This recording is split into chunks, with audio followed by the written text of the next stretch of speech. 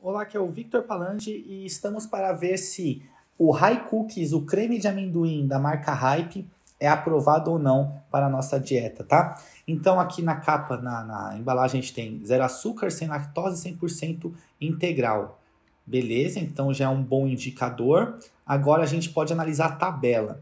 Tá, a tabela dele, uma colher de 10 gramas, a gente tem 2,2 de carbo, 2,6 de proteína, 4,7 de gorduras totais e um valor menor que 1 de gorduras saturadas. É uma tabela boa, tá? É porque se você for ver carbo, tem um pouquinho mais de carbo do que algumas tabelas, ah, por conta de deles colocarem algo para dar um docinho. Então tem um pouquinho mais, mas é muito pouco, é pouquíssimo, a ponto de ser irrelevante, tá? Proteína tá dentro do que se espera, que amendoim tem proteína. E gordura tá legal, tem bastante gordura mesmo, porque o amendoim ele é uma fonte bem gordurosa. Gordura boa, mas não deixa de ser gordura. Por isso eu sempre falo, não abusa de pasta de amendoim na sua dieta, tá bom?